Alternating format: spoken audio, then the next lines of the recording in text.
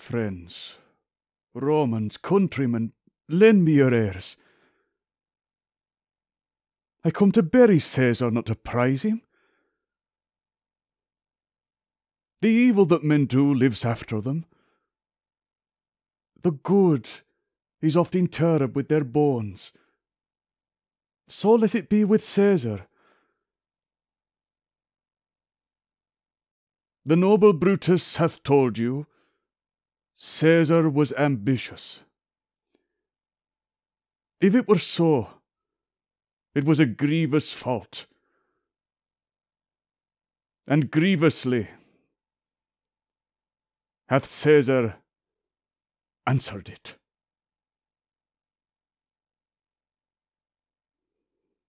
Here, under Leva Brutus and the rest,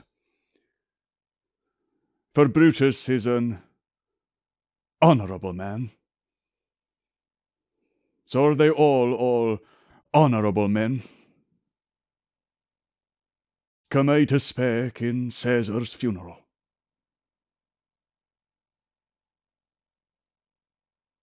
He was my friend, faithful and just to me. But Brutus says he was ambitious. And Brutus is an honourable man. He hath brought many captives home to Rome, whose ransoms did the general coffers fill. Did this in Caesar seem ambitious?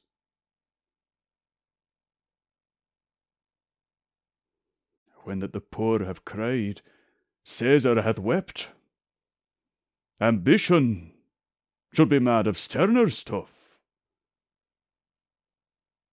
Yet Brutus says he was ambitious. And Brutus is an honourable man.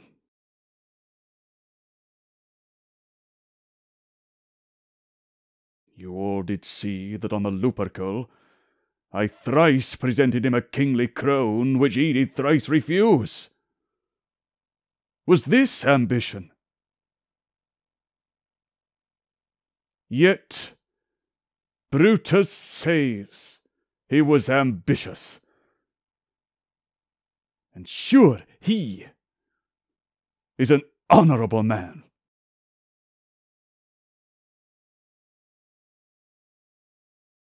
I come not to disprove what Brutus spoke. But here I am to speak what I do know. You all did love him once, not without cause. What cause withhold ye then to mourn for him? Oh, judgment! Thou art fled to brutish beasts, and men have lost their reason. Forgive me. Me heart is in the coffin there with Caesar, and I must pause till it come back to me.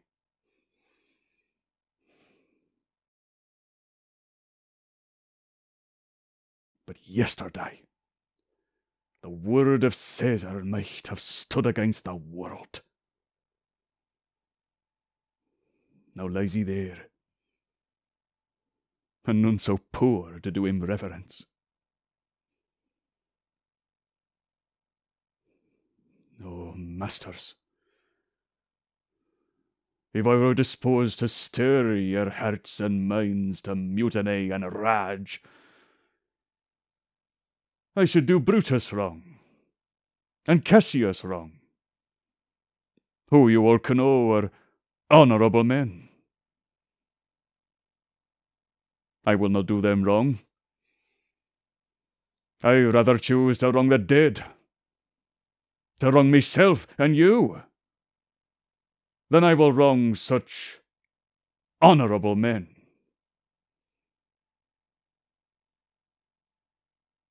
But here is a parchment with the seal of Caesar. I found it in his closet. Tis his will. Let but the commons hear this testament, which, pardon me, I do not mean to read. They would go and kiss dead Caesar's wounds, and dip their napkins in his sacred blood. Yea, beg a hair of him for memory, and dying, mention it within their wills, bequeathing it as a rich legacy unto their issue.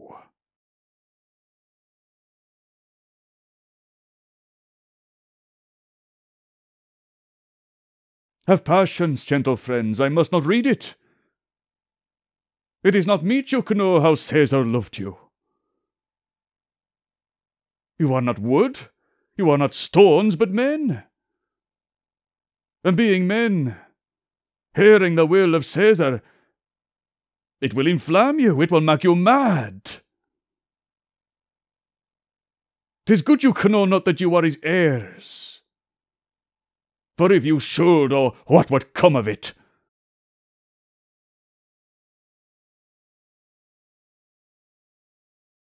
Will you be patient? Will you stay a while? I have o'ershot myself to tell you of it. I fear I wrong the honourable men whose daggers have stabbed Caesar. I do fear it.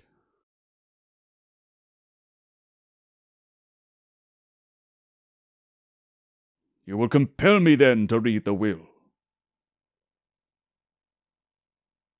Then mark a ring about the curse of Caesar. And let me show you him that mad the will. Shall I descend? And will you give me leave?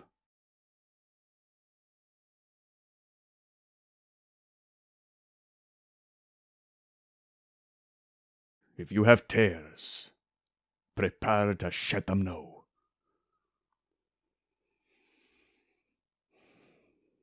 You do know this mantle. I remember the first time ever Caesar put it on. 'Twas on a summer's evening, in his tent. That day he overcame the Nervii.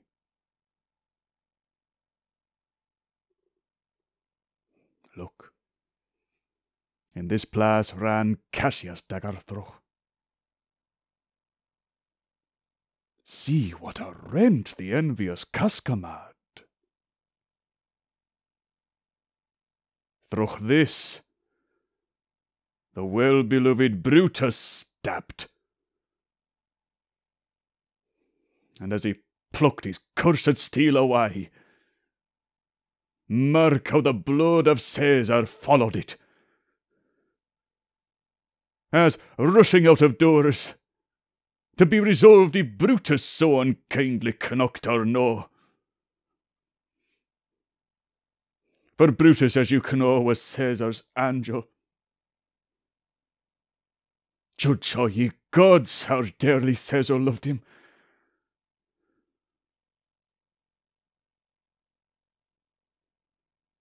This was the most unkindest cut of all.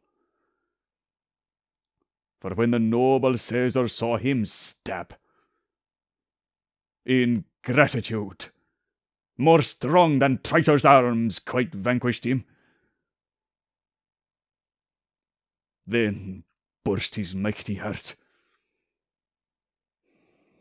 and in his mental muffling of his face, even at the base of Pompey's statue, which all the while ran blood, great Caesar fell,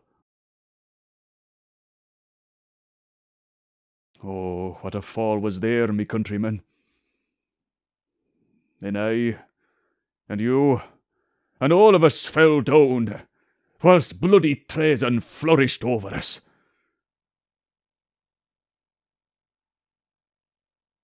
Oh, now you weep, and I perceive you feel the dint of pity. These are gracious drops. kind souls. What? Weep you when you but behold our Caesar's vesture wounded. Here is himself, marred as you see with traitors.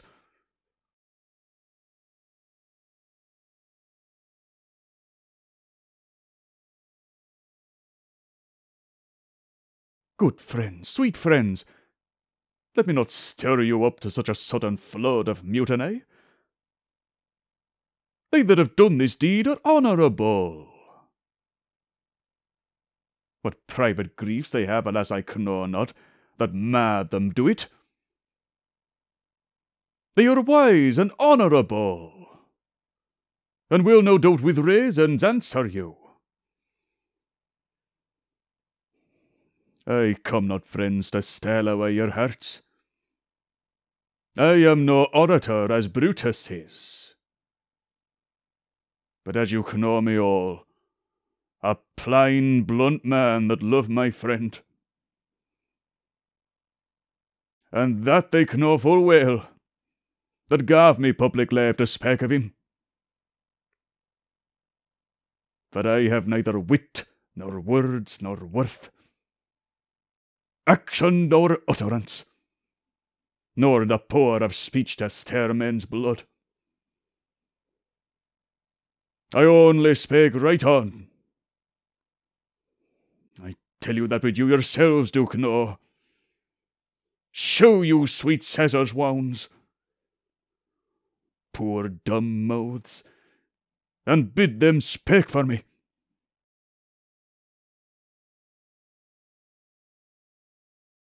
But were I Brutus, and Brutus Antony, there where an Antony would ruffle up your spirits,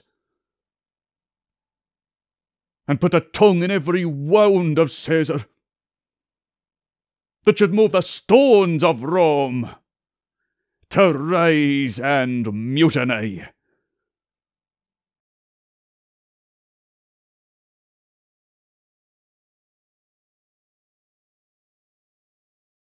Yet hear me, countrymen, yet hear me spake.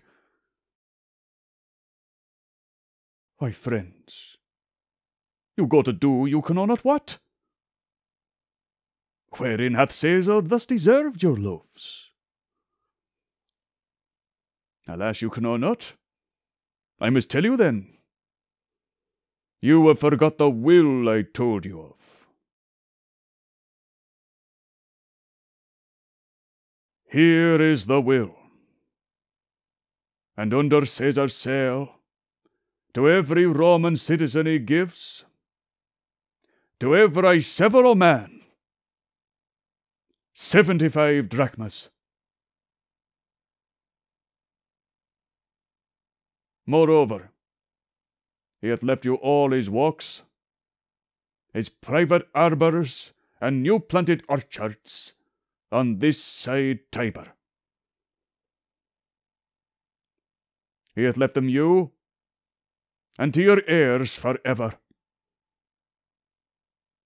Common pleasures, to walk abroad and recreate yourselves. Here was a Caesar. Whence comes such another?